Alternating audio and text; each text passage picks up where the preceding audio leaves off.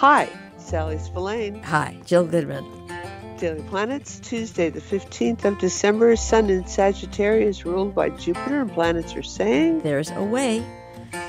Oh, how delightful. Planets. Venus values creativity, getting along with Saturn, structure lessons before entering Sagittarius, independent, forthright, adventurous.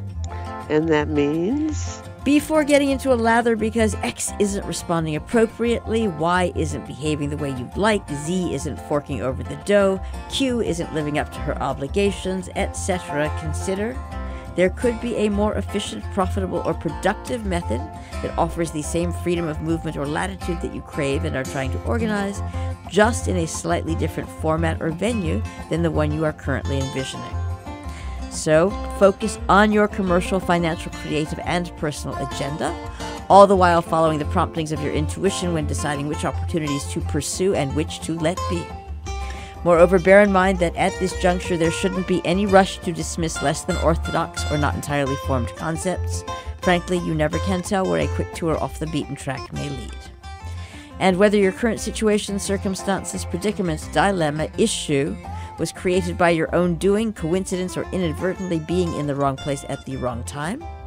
Make a push to resolve outstanding matters that have been pending for a while, even if they're gnarly and earlier attempts to sort them have not necessarily met with resounding success.